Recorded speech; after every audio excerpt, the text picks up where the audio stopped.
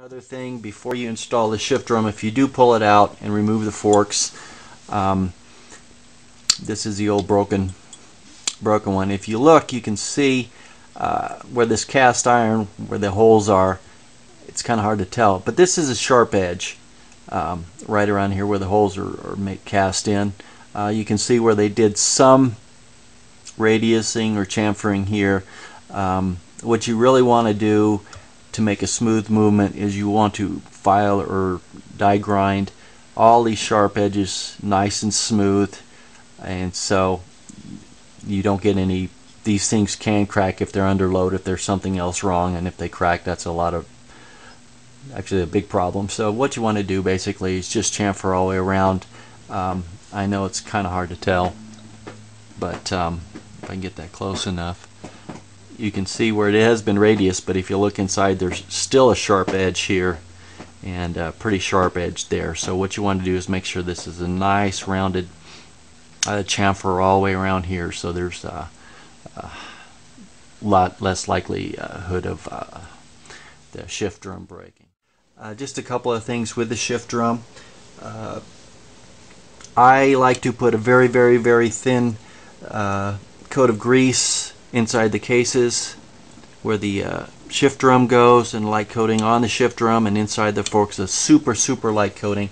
Um, there's a lot of um, uh, friction here actually and if you don't do that or basically slather uh, everything with oil before you install everything uh, it when you get the motor together it'll be virtually impossible to shift or very difficult a lot of guys have a problem with that to get the motor together and it just won't shift and it's just due to the large uh, friction area here so I like to put a little grease on it myself very light coat um, for that just in case because I don't know how long the motor is going to sit before it's assembled so a couple of other things.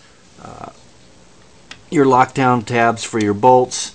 Um, I'll, I'll, I'll, reuse them once. If they've never been uh, loosened, I'll reuse them once. Uh, uh most guys would rather just replace them every time. So, uh, But in this case, these look good. There were no cracks or anything. So I reuse those. Uh, they were in good shape.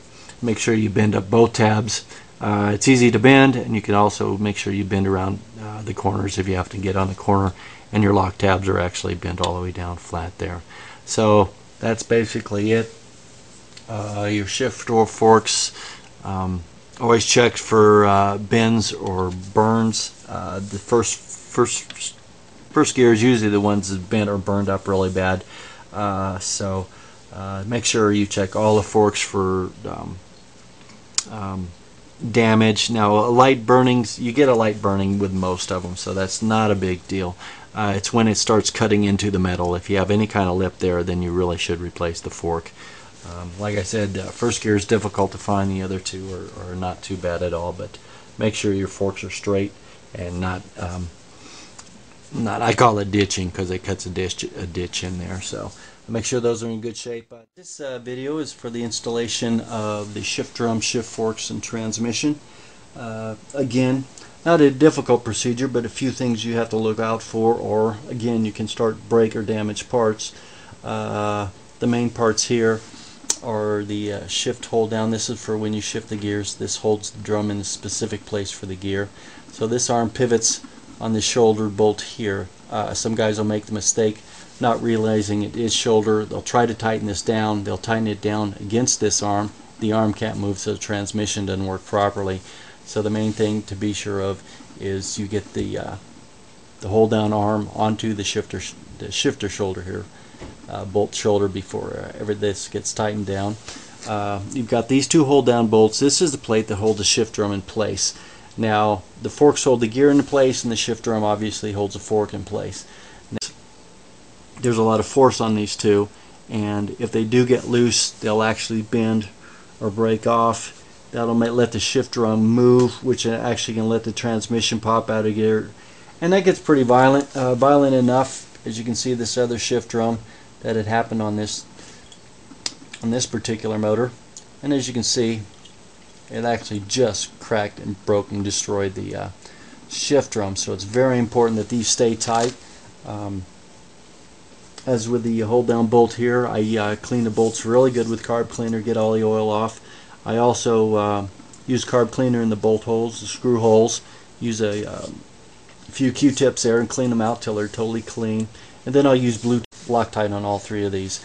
Uh, so make sure um, these are Loctite because there's no locking mechanism on this one uh, or the countersunk.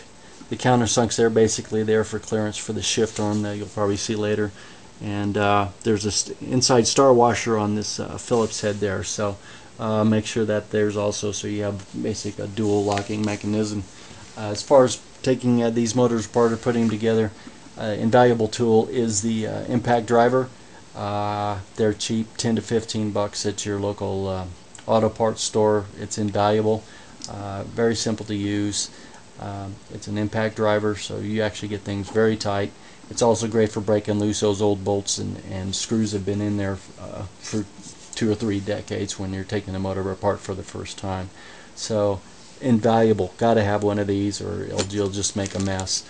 Um, that's basically it for that, uh, except for when you, after you've impacted these both in, you'll see since this has absolutely no locking mechanism, the factory staked it, this uh, countersunk screw into the uh, into the, the hole down. So I'd use I'll take a small pin punch that's been sharpened or a sharp punch, and I'll just restake it. And that's again just a secondary because if this comes loose, it causes all sorts of problems. So that's uh, as far as mounting the shift drum there. Uh, I'll reposition the camera so we can uh, take a look at the transmission installation and a couple more things with the shift drum.